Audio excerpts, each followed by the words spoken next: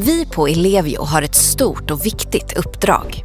Vi ska se till att du alltid har el hemma. Som ett av Sveriges största elnätsföretag spelar vi också en nyckelroll när Sverige ska ställa om och elektrifieras. I den här filmen förklarar vi mer om hur vi resonerar när vi bygger om och bygger ut elnätet. Sveriges elnät består av tre nivåer. Stamnätet, regionnätet och lokalnätet. Stamnätet och regionnätet består till största del av luftledningar medan lokalnätet, som är närmast kunderna, oftast är nedgrävt i marken. Varför är det så?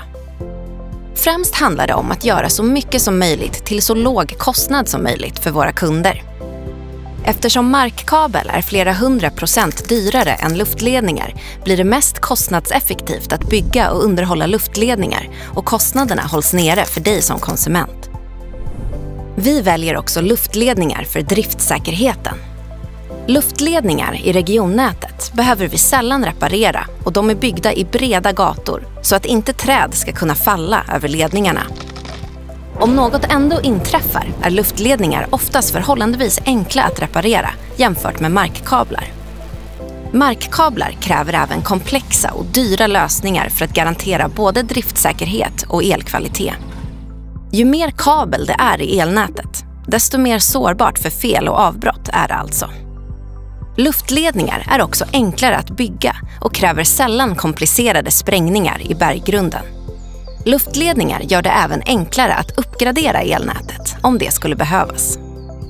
Trots det behöver vi ibland bygga ledningar i regionnätet som kabel. På grund av platsbrist när vi drar ledningar genom tätbebyggda områden eller när vi ska fram genom hav och sjöar. Men det är i sällsynta undantagsfall. För att sammanfatta. Vi behöver bygga ut elnätet och det måste gå snabbt.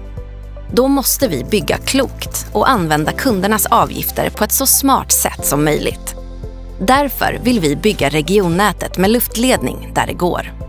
Du kan läsa mer om det här på elevio.se samrad.